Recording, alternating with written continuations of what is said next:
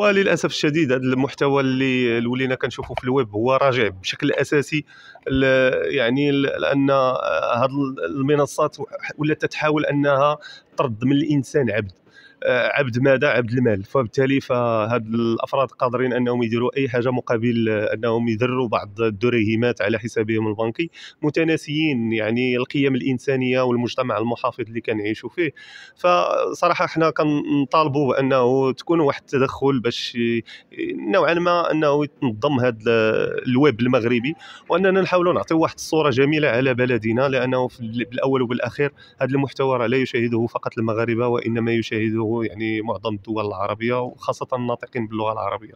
منصه تيك توك يعني تم منع ديالها في عدد من الدول العربية من بين الأردن. باش أنت مع مع مع فكرة منع تيك توك أنا الناس اللي مشددين على ايادي من سيتخذون القرار أنه يتم حظره في المغرب لأن كما قلت آه، إلى فقط إذا كان المغاربه يعرفون أو لا يعرفون أن هذا التطبيق ديال تيك توك واخا أنه تطبيق صيني فهذا التطبيق الصيني راه يعني اللي, اللي موجود في الصين راه ليس هو التطبيق تيك توك الذي نستخدمه يعني يستخدمه باقي العالم.